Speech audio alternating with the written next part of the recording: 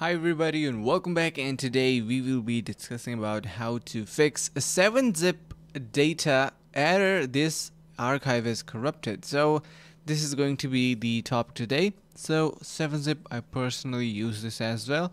Some files might show some kind of annoying error codes, error messages and you don't need to worry about it. So in this case if you're facing with the archive is corrupted or stuff like that we have a solution for that. So a lot of time there could be some encryption or stuff like that and you need to know a password for that. So make sure you have a password and you're entering that properly.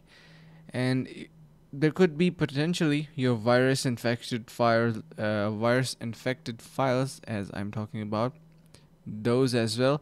As you can see some of the um, solutions that you can propose is use the Windows antivirus software to scan the infected file to eliminate and ensure that antivirus you have installed in computer is already updated.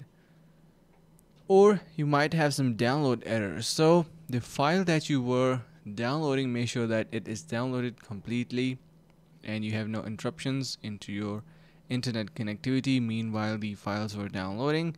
You can also check the file header corruption. So these are some of the features that you should be taking care of. Uh, you might have inappropriate tools so you can extract file using the official Windows 7 software called 7zip or any other service that supports this fi uh, uh, the file type. And you can also try reinstalling the 7zip itself as well.